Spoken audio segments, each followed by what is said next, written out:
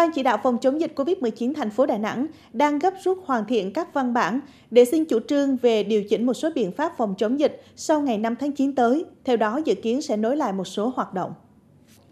Phát biểu chỉ đạo tại cuộc họp Ban chỉ đạo phòng chống COVID-19 thành phố, với sự tham dự của các thành viên Ban Thường vụ Thành ủy cùng trên 90 điểm cầu đến tận xã phường vào chiều muộn ngày 1 tháng 9, Bí thư Thành ủy Nguyễn Văn Quảng đánh giá, sau 20 ngày thực hiện phong tỏa cứng, Đà Nẵng cơ bản đã cắt đứt nguồn lây, bóc tách và không để F0 lây nhiễm sâu cộng đồng, kiềm chế gia tăng của dịch bệnh.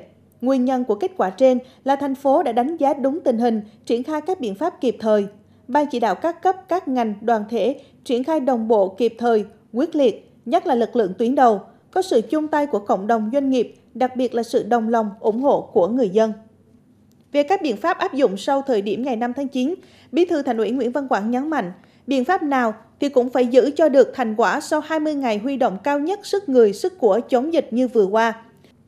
Đồng thời, cũng không thể phong tỏa mãi được. Hoạt động của thành phố cũng như dòng máu trong cơ thể con người.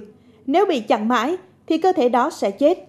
Ngoài ra, nhân dân là chiến sĩ, là người quyết định thành hay bại trong cuộc chiến chống dịch, nên phải để cho người dân nhìn thấy và thụ hưởng thành quả của mình sau thời gian đã hy sinh, đồng lòng cùng thành phố chống dịch.